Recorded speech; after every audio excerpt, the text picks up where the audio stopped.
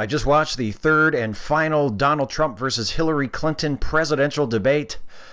that was fun, huh?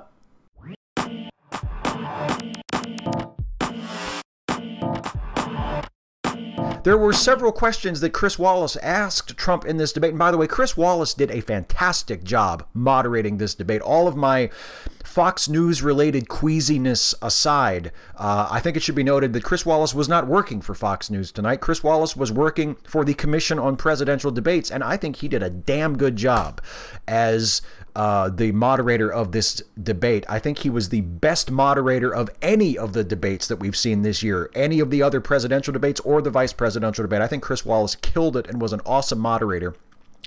And one of the questions that he asked Trump, actually, he began this question by pointing out that some of the things that Trump had said in a response to this subject in a previous debate were false. He said, You said some things during your response about Aleppo in the previous debate that were untrue, sir.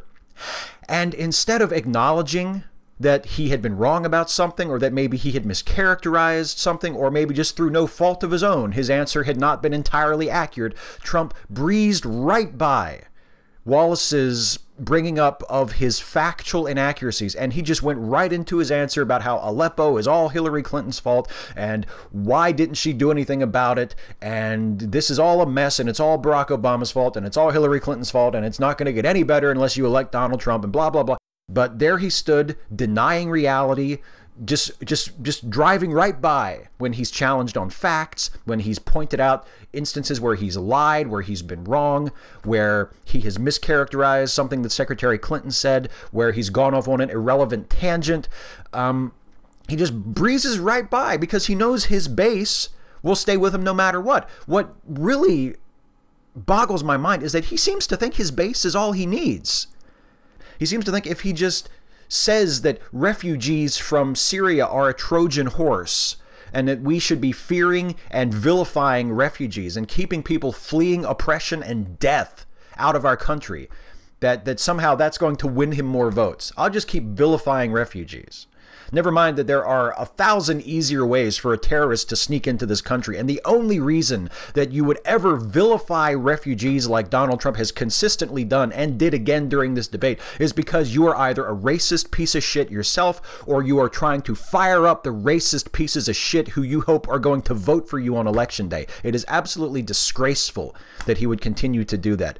Uh, he brought out the old partial birth abortion scare tactics. Oh, they could rip a baby out of the mother's womb the day before the due date, and that would be legal, and Hillary Clinton loves that, right? This is the kind of shit that I heard when I was in high school, when I was in middle school during my young Republican phase. This is the kind of shit that people would say when they called into the Rush Limbaugh show. This is the kind of shit that people would write in self-published paperback books that were sold on spinner racks and tru- at truck stops in the 1980s and 90s. The kind of shit that you would read in underground newsletters that were printed on ditto machines in somebody's basement that would you would read in smeary purple print that would be passed out from hand to hand. The kind of delusional right-wing conspiracist rants that were coming out of Donald Trump's mouth. He's not a, a, a, presidential candidate in the year 2016. He's a right wing underground conspiracy theorist from 1996. If you listen to the words that are coming out of his mouth, if you listen to the arguments that he's making, there were two telling moments during this debate uh, that I want to end on. The first was actually the final segment of the debate where Chris Wallace gave them both an opportunity to give sort of a closing statement and Hillary Clinton's closing statement basically boiled down to this I've been doing this my entire professional life. I have tried to make life better for people. I've tried to serve people. I want to help you. I need your help. And if you give me the opportunity to be the president, I will do the best I can for you. Now, whether you like Hillary Clinton or not, whether you trust Hillary Clinton or not, whether Hillary Clinton is the person you wanted to be on that stage as the Democratic nominee or not, the fact remains her message was positive. It was outreaching. It was her saying, I want to help you and I need you. And if you let me be your president, I will do the best I can for you. That was her message. That was her closing statement in this debate. Donald Trump's closing statement, on the other hand, was Hillary's crooked. You can't trust her. The entire world is going to shit. Everything is falling apart, and you're all doomed unless you vote for me. It was basically a very shortened version of his just delusional, uh, megalomaniacal, apocalyptic convention acceptance speech. Everything is terrible. The world is coming to an end. The only person who can possibly save you is me, so you should vote for me or else. That's the first moment that I think is quite telling in this debate and kind of speaks for the entire campaign to this point. The other moment was a little bit before that, and it's the moment that I think everybody's going to be talking about for the next few days. And it's the moment where Trump may have actually lost some of the people that were still with him.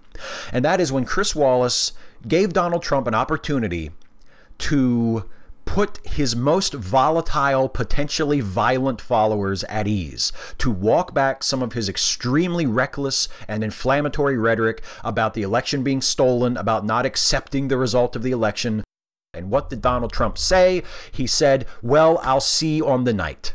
And he actually kind of played it as like a joke. He said, I'm going to keep you in suspense.